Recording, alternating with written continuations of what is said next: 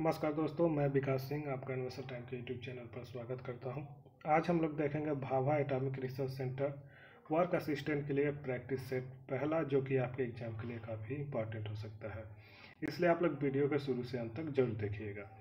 पहला क्वेश्चन है कि हल कीजिए। वन प्लस ग्यारह प्लस एक सौ ग्यारह के जोड़ने पर हमें क्या प्राप्त होगा? चलिए हम लोग इसको हल करके देख लेते हैं। एक सौ ग्यारह प्लस ग्यारह प्लस एक, इसको हम लोग जोड़ेंगे तो हमें मिलेगा तीन दो एक यानी कि एक सौ तेईस और यह आपका सही आंसर होगा। इसलिए आपका ऑप्शन नंबर ए सही होगा। दूसरे क्वेश्चन की तरफ़ हम लोग बढ़ते हैं।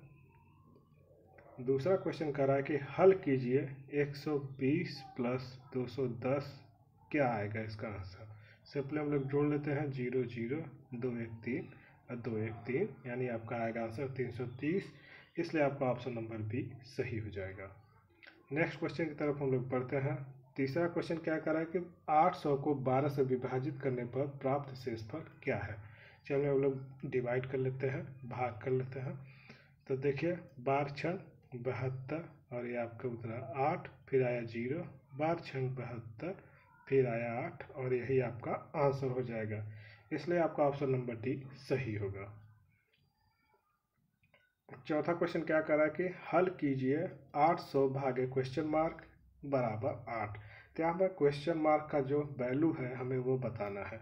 चलिए हम लोग हल कर लेते हैं। आठ सौ भागे क्वेश्चन मार्क इक्वल टू आठ, यानी आठ सौ बटे क्वेश्चन मार्क इक्वल टू आठ, इसको तेरिया कूड़ा होगा तो क्या होगा?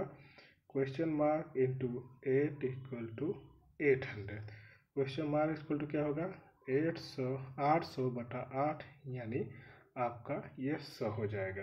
यानी जो क्वेश्चन मार्क का वैल्यू आएगा, वो आएगा सौ, इसलिए आपका ऑप्शन नंबर ए सही हो जाएगा। हम लोग बात करते हैं पाँचवा क्वेश्चन की। पाँचवा क्वेश्चन क्या कह रहा है कि हल कीजिए। एक सौ एक गुड़े दस गुड़ा करने पर हमें क्या मिलेगा? तो अब हमें सिंपली एक ज़ीरो बढ़ा देना है और आपका जो आंसर आएगा दस दस, इसलिए आपका ऑप्शन नंबर ए सही हो जाएगा। नेक्स्ट क्वेश्चन की हम लोग बात करते हैं। क्वेश्चन कर रहा है कि निन्यानवे निन्यानवे गुड़े नौ गुड़े नौ को करने गुड़ा करेंगे तो हमें क्या प्राप्त होगा? चलिए हम लोग गुड़ा कर लेते हैं। क्या होता है? निन्यानवे गुड़े हम लोग इक्यासी लिख लेते हैं? अब हम लोग निन्यानवे को गुड़ा कर लेते हैं। सिंपली एक से गुड़ा करें तो निन्यानवे इंटू आठ, नौ, बहत्तर आशी लगा सात, आठ, नौ, बहत्तर, सात, उन्यासी। क्या आएगा? नौ नौ दो ग्यारह, नौ एक दस, सात एक आठ, यानी आपका जो आंसर आएगा, अस्सी उन्नीस आएगा, इसलिए आपका ऑप्शन नंबर डी सही हो जाएगा। नेक्स्ट क्वेश्चन की हम लोग बात करते हैं, यानी कि सातवें क्वेश्चन की। सातवें क्वेश्चन में कह रहा है कि सिंपली आपको घटाना है। क्या घटाना है? निन्यानवे दशमलव दो पाँच में से आपको अट्ठासी दशमलव पाँच शून्य को घटाना है। तो क्या हुआ? शून्य से पाँच यहाँ है तो पाँच उतरा। बारह में से पाँच गया सात, यहाँ आठ बचा, आठ में से आठ गया शून्य, नौ में से आठ गया एक। यानी जो आपका आंसर आया, दस दशमलव सात पाँच, इसलिए आपका ऑप्शन नंबर ए सही हो जाएगा। हम लोग बात करते हैं आठवें क्वेश्चन की। आठवां क्वेश्चन क्या कर? रहा है सिंपली सा हमें इसको सॉल्व करना है। आठ हज़ार आठ सौ पचासी में से एक सौ पच्चीस माइनस आठ सौ छप्पन। चलिए हम लोग माइनस वाले पहले जोड़ लेते हैं। क्या हुआ? आठ सौ छप्पन, एक सौ पच्चीस जुड़ते हैं। छः पाँच ग्यारह, पाँच दो सात एक आठ आठ एक नौ। अब हम लोग क्या करते हैं? आठ हज़ार आठ सौ पचासी में से इसको घटा देते हैं। घटाने पे क्या मिलेगा हमें? पाँच में से एक गया चार, आठ में से आठ गया शून्य अट्ठारह में से नौ गया नौ, और यहाँ बचा सात। यानी जो आपका आंसर आया, सात नौ ज़ीरो चार, और इसलिए आपका ऑप्शन नंबर बी सही हो जाएगा। नेक्स्ट क्वेश्चन की हम लोग बात करते हैं। क्वेश्चन कह रहा है, इक्यासी और तिरासी का महत्तम समापवर्तक ज्ञात कीजिए। महत्तम समापवर्तक वो होता, वो अंक होता है जो दोनों में कापन, कामन हो। चलिए हम लोग गुणनखंड कर लेते हैं। इक्यासी गुणनखंड होगा तीन गुड़े तीन गुड़े तीन गुड़े तीन। यानी तीन तरीके नौ तरीक सत्ताईस सत्ताईस दिया इक्यासी। और तिरासी का कोई फैक्टर नहीं होगा, इसलिए हम इसको लिख देते हैं तिरासी गुड़े एक। अगर हम लोग कामन देखें तो यहाँ पर सिर्फ़ एक ऐसी संख्या है जो कि दोनों में कॉमन है। इसलिए इसका मास पर क्या हो जाएगा? ऑप्शन नंबर ए एक, जो कि सही आंसर होगा। हम लोग बात करते हैं दसवें क्वेश्चन की। दसवा क्वेश्चन क्या है कि संज्ञा एक पालना पंद्रह सौ रुपये में खरीदते हैं। यदि दुकानदार ने उसे बीस परसेंट की छूट दी है तो पालना का अंकित मूल्य क्या था? हम मान लेते हैं पालना का अंकित मूल्य यक्स था और इस पर बीस परसेंट छूट मिला, यानी यक्स गुड़े बीस बटा सौ और इसमें से हमने घटा दिया तो हमें इसका पंद्रह सौ ये मिल गया। चलिए हम लोग इसको सॉल्व कर लेते हैं। बीस पंद्रह सौ, यानी क्या हुआ? पाँच एक्स माइनस एक्स बटे पाँच इक्वल टू पंद्रह सौ, ठीक है? यह क्या हो जाएगा? चार एक्स हो जाएगा, ठीक? हम लोग इसको डिवाइड करेंगे। दो से इसको हम लोग काटा, इसको हम लोग काटेंगे तो सात सौ पचास, यानी इसको फिर हम लोग काटेंगे तो कितना बचेगा? दो, तीन छः दो, सात, चौदह, फिर पाँच का हम लोग गुड़ा कर देंगे तीन सौ पचहत्तर में गुड़े पाँच। क्या मिलेगा? पचास पच्चीस पाँच हाथ में दो, पाँच, सात, पैंतीस, दो, सैंतीस, सात, हाथ में लगा तीन, पाँच तेईस पंद्रह, तीन, अट्ठारह, यानी आपका आंसर आएगा अट्ठारह सौ पचहत्तर। इसलिए आपका ऑप्शन नंबर ए सही हो जाएगा। नेक्स्ट क्वेश्चन की तरफ़ हम लोग चलते हैं। ग्यारहवा क्वेश्चन ग्यारहवा क्वेश्चन क्या कर रहा है कि दिए गए अनुपात को इसके सरलतम रूप में व्यक्त कीजिए। एक घंटा दिया है और साठ सेकेंड। तो हम लोग घंटा क्या कर लेते हैं? सेकेंड में बना एक घंटे में कितने मिनट होते हैं? एक घंटे में होते हैं आपके साठ मिनट और एक मिनट में होते हैं साठ सेकेंड। अनुपात साठ सेकेंड। यहाँ देखिए, साठ से साठ कट गया, यानी कितना अनुपात बचा? साठ अनुपात एक, यानी आपका ऑप्शन नंबर भी सही हो जाएगा। नेक्स्ट क्वेश्चन की तरफ़ हम लोग बढ़ते हैं। क्या करा कि बारहवा क्वेश्चन करा, पाँच मेज का मूल्य नौ सौ रुपये है, दो मेज का मूल्य ज्ञात कीजिए। तो हम लोग एक मेज का मूल्य निकालेंगे, क्या? नौ सौ बटे पाँच कितना आया? एक सौ अस्सी। इसमें हम लोग दो का गुणा कर देंगे तो दो मेज का दाम हमें पता चल जाएगा। हम लोग गुड़ा करेंगे तो कितना मिलेगा? तीन सौ साठ, और यही आपका सही आंसर होगा। आपका ऑप्शन नंबर ए सही हो जाएगा। नेक्स्ट क्वेश्चन की बात करते हैं। कारक नील रतन की आयु बीस वर्ष है और विकास की आयु सात वर्ष है। नील रतन की आयु, विकास की आयु से कितने वर्षों में दोगुनी हो जाएगी? हम मान लेते हैं ऑप्शन में कि यह छः वर्ष बाद विकास की आयु से दुगनी हो जाएगी। दोनों में हम छः जोड़ देते हैं, ठीक है? इधर भी छः इधर भी छः ये देखिए सात छः तेरह और बीस छः छब्बीस, ये देखिए तेरह का दो गुना है। यानी आपका ऑप्शन नंबर बी सही हो जाएगा, यानी छः वर्षों में उसकी आयु दुगनी हो जाएगी। नेक्स्ट क्वेश्चन की बात हम लोग करते हैं। क्वेश्चन क्या करा कि नीचे दी गई श्रृंखला अक्षरों एवं संख्याओं का अनुक्रम का प्रयोग करती है। गलत संयोजन पहचानिए। तो जो देखिए डी ऑप्शन है, वो गलत है, हम बताते हैं आपको क्यों। देखिए ए लिखा है, फिर वन लिखा, यानी ए पहले स्थान पे आता है बी दूसरे स्थान पे डी चौथे स्थान पे। बी में ठीक देखिए एफ़ छः पे आता है, जी सात पे आता है एच आठ पे आता है। सी में देखिए, पी सोलह पे आता है, सी तीन, पी सोलह पे आता है, सी तीन पे तीन पे आता है और ये आई है, आई और नौ पे आता है। लेकिन चौथा जो ऑप्शन है, यच देखिए, छः पे नहीं आता है यह चाहता है आठ पे, इसलिए गलत संयोजन है और इसलिए आपका ये ऑप्शन सही हो जाएगा। हम लोग बात करते हैं सोलहवें क्वेश्चन की और पंद्रहवें क्वेश्चन की। पंद्रहवा क्वेश्चन देखिए क्या कह रहा है कि नीचे दी गई श्रृंखला अक्षरों एवं संख्याओं का अनुक्रम का प्रयोग करती है। गलत संयोजन को पहचानिए। यानी कि जो तीन है, कहीं ना कहीं एक प्रकार से एक नियम को फॉलो करते हैं, लेकिन एक है जो कि उसके नियम को फॉलो नहीं करता है।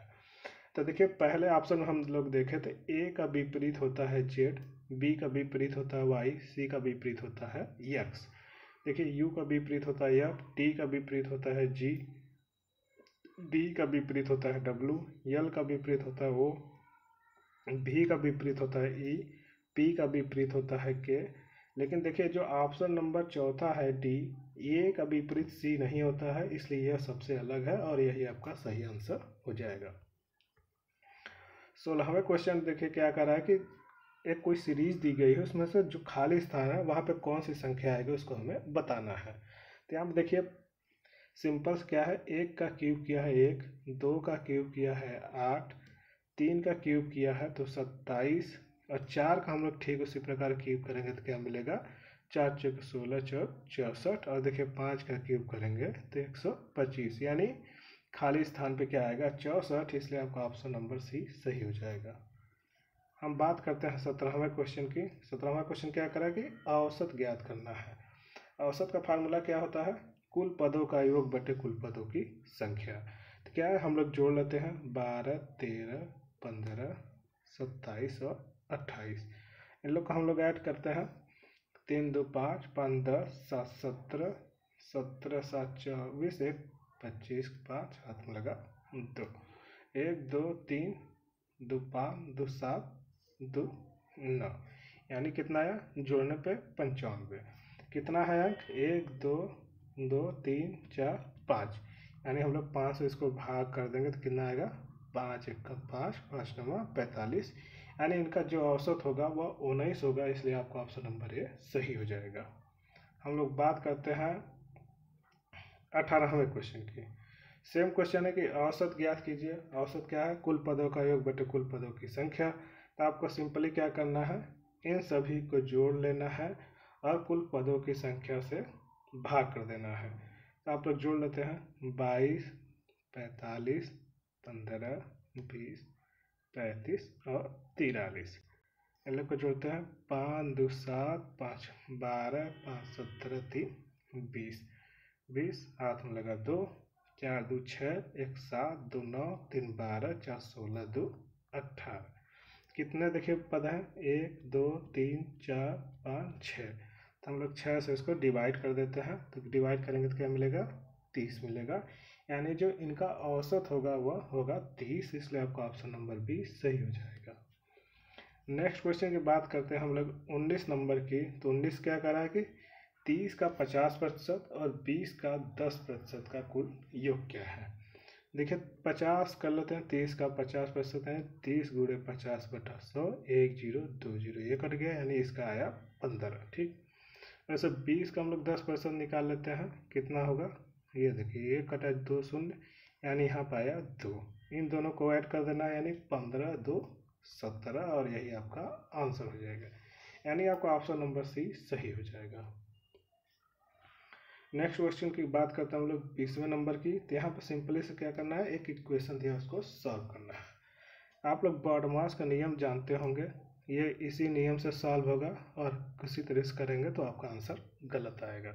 देखिए, हम लोग पहले बीस भागे दो है तो हम लोग पहले डिवाइड कर लेते हैं, कितना है दस, फिर इंटू तीन प्लस चार। अब गुणा करेंगे तीस प्लस चार, यानी आपका कितना आंसर आएगा? चौंतीस। ठीक है? यानी आपका ऑप्शन नंबर सी सही हो जाएगा। नेक्स्ट क्वेश्चन की बात करते हैं। इसमें क्या है कि एक सिंबल दिया गया है और बताना है इस चिन्ह का क्या अर्थ है। तो इस चीज़, सिंपल सा इस चिन्ह का अर्थ है कि यहाँ पे वाहन खड़ा करना मना है, यानी आपका ऑप्शन नंबर ए सही हो जाएगा। हम लोग बात करते हैं बाईस क्वेश्चन की, वो बाईस क्वेश्चन कर रहा है, वह नदी कौन सी है जिसका उद्गम भारत में नहीं है? तो वह नदी है सतलज। सतलज नदी का उद्गम भारत में नहीं है। इसका उद्गम कहाँ होता है? तो इसका उद्गम होता है मानसरोवर के निकट राक्षस्थल से होता है, इसलिए आपका ऑप्शन नंबर सी सही हो जाएगा। हम लोग बात करते हैं अगले क्वेश्चन की, महाराष्ट्र शब्द का अर्थ क्या है? तो इसका अर्थ होता है महादेश और ये आपका ऑप्शन नंबर ए में दिया है, इसलिए आप सबका ऑप्शन नंबर ए सही हो जाएगा। हम लोग बात करते हैं चौबीस क्वेश्चन की। चौबीस क्वेश्चन कह रहा है कि महाराष्ट्र राज्य की सीमा के साथ कौन सा सागर लगा हुआ है? यानी जो महाराष्ट्र का सीमा है, उसके साथ कौन सी सागर लगी हुई है? तो इसका सही आंसर हो जाएगा अरब सागर। तो अरब सागर, ये आपका ऑप्शन नंबर बी में है, इसलिए आपका ऑप्शन नंबर बी सही हो जाएगा। नेक्स्ट क्वेश्चन की बात करते हैं हम लोग।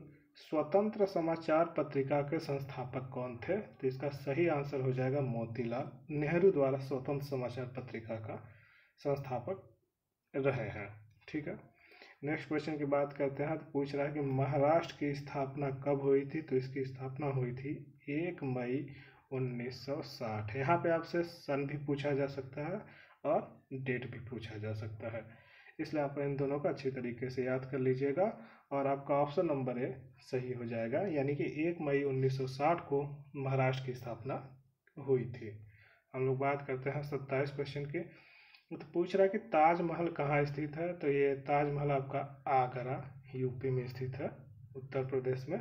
इसलिए आपका ऑप्शन नंबर ए सही हो जाएगा।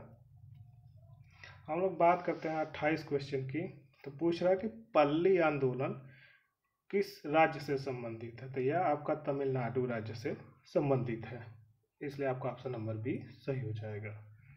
नेक्स्ट क्वेश्चन है, महाराष्ट्र का राज्य वृक्ष क्या है? तो आपका महाराष्ट्र का राज्य वृक्ष आम है, इसलिए जो कि ऑप्शन नंबर डी में दिया है, इसलिए आपका ऑप्शन नंबर डी सही हो जाएगा। हम लोग बात करते हैं कि भारत की वित्तीय राजधानी कौन सी है? तो हम सभी को पता है कि भारत की वित्तीय राजधानी क्या है? मुंबई है। तो इसलिए आपका ऑप्शन नंबर क्या हो जाएगा? ये सही हो जाएगा। नेक्स्ट क्वेश्चन की हम लोग बात करते हैं। विश्व का सबसे बड़ा द्वीप कौन सा है? तो ग्रीनलैंड को विश्व का सबसे बड़ा द्वीप माना जाता है। इसलिए आपका ऑप्शन नंबर बी सही हो जाएगा।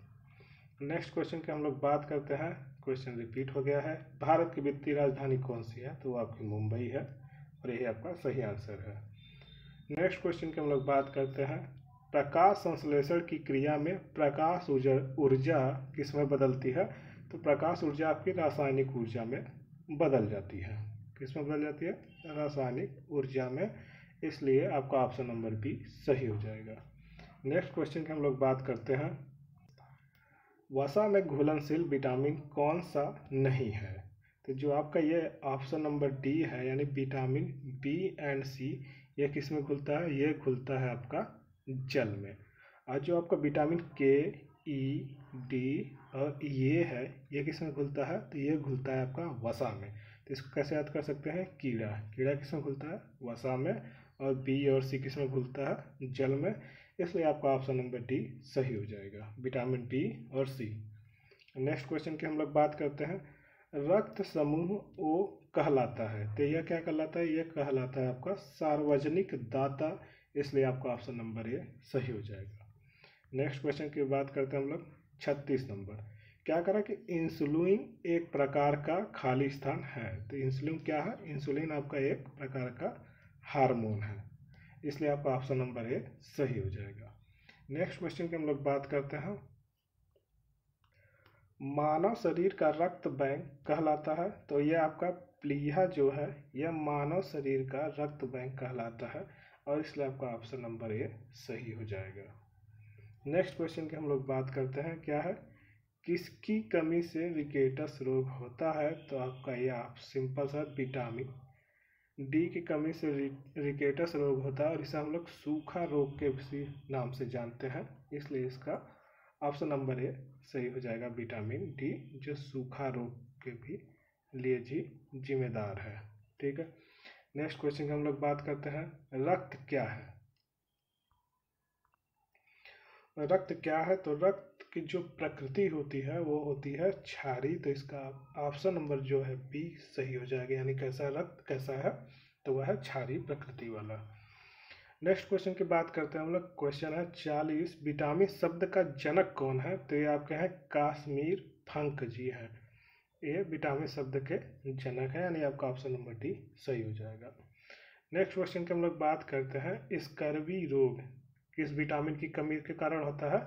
तो ये जो विटामिन सी की कमी के कारण स्कर्वी रोग होता है, इसमें क्या होता है? आपके होंठ जो होते हैं, वो फट जाते हैं। इसलिए इसका ऑप्शन नंबर कौन? डी सही हो जाएगा। नेक्स्ट क्वेश्चन की हम लोग बात करते हैं। पौधे के किस भाग से हल्दी प्राप्त की जाती है? तो हल्दी जो है वो तना से प्राप्त की जाती है। यानी आपका ऑप्शन नंबर सी सही हो जाता है। अगर पूछे कि आलू क्या है तो ये क्या है? एक प्रकार का तना ही है। ठीक है? नेक्स्ट क्वेश्चन की हम लोग बात करते हैं। तिरालीस नंबर की, किस अंग के भीतर पित्ताशय स्थित है? तो है आपका यकृत अंग के अंदर पित्ता, पित्ताशय स्थित है। और आपका सही आंसर हो जाएगा option number B. Next question की हम लोग बात करते हैं। मलेरिया में कौन सा अंग प्रवाहित होता है? तो जो मलेरिया में होता है वो प्लेटलेट्स, यानी प्लीहा जो सबसे अधिक प्रवाहित होता है, यानी आपका ऑप्शन नंबर ए सही हो जाएगा। इसमें क्या होता है? प्लेटलेट्स की संख्या गिर जाती है। नेक्स्ट क्वेश्चन है, विटामिन सी का सबसे उत्तम स्रोत क्या है? तो इसका सही आंसर हो जाएगा आंवला। विटामिन सी का सबसे अच्छा स्रोत है। और इसकी कमी से कौन सा रोग होता है? इसकी कमी से होता है स्कर्वी जिसमें क्या होता है? आपके होंठ फट जाते हैं। ठीक है नेक्स्ट क्वेश्चन का हम लोग बात करते हैं। छियालीस नंबर के, कौन सा भोजन तुरंत शक्ति प्रदान करता है? तो जो आपका ग्लूकोज है, यह आपको तुरंत शक्ति प्रदान करता है। ठीक है, यानी आपका ऑप्शन नंबर डी सही हो जाएगा। नेक्स्ट क्वेश्चन की बात करता है, किस तत्व की कमी से घेंघा रोग होता है? तो आयोडीन की कमी से घेंघा रोग होता है, जिसे हम लोग ग्वाइटर के नाम से भी जानते हैं। नेक्स्ट क्वेश्चन की हम लोग बात कर रहे हैं, अड़तालीस नंबर की, मानव शरीर की सबसे छोटी हड्डी कौन सी है? तो वह है स्टेप इज़ यानी ऑप्शन नंबर सी होगा। यह कहाँ पाई जाती है? तो ये कान में पाई जाती है। ठीक है? नेक्स्ट क्वेश्चन बात करें हम लोग। उनचास नंबर, निमोनिया। रोग शरीर किस अंग को प्रभावित करता है तो ये आपके लंग्स को प्रभावित करता है, यानी कि आपके फेफड़े को प्रभावित करता है, इसलिए आपका ऑप्शन नंबर ए सही हो जाएगा। नेक्स्ट क्वेश्चन और लास्ट क्वेश्चन क्या है? चलिए देखते हैं। मनुष्य में लाल रुधिर काल का जीवन काल कितना होता है? यानी रेड ब्लड सेल्स की बात कर रहा है आर बी सी ये इसका जो होता है ड्यूरेशन या जीवन का लाइफ टाइम तो इसका होता है 120 दिन। इसको कैसे याद करेंगे देखिए आर को कैसे लिखा? एक, दो, और ऐसे याद करें, यानी 120 दिन। आशा करता हूँ आप लोगों को वीडियो पसंद आया होगा। वीडियो पसंद आया होगा तो वीडियो क्या करना है? लाइक करना है और अपने दोस्तों के साथ शेयर करना है, ताकि जो एग्ज़ाम दे रहे हो, उनकी प्रैक्टिस अच्छे तरीके से हो जाए और वे अपने एग्ज़ाम में अच्छे स्कोर कर पाए। वीडियो देखने के लिए धन्यवाद।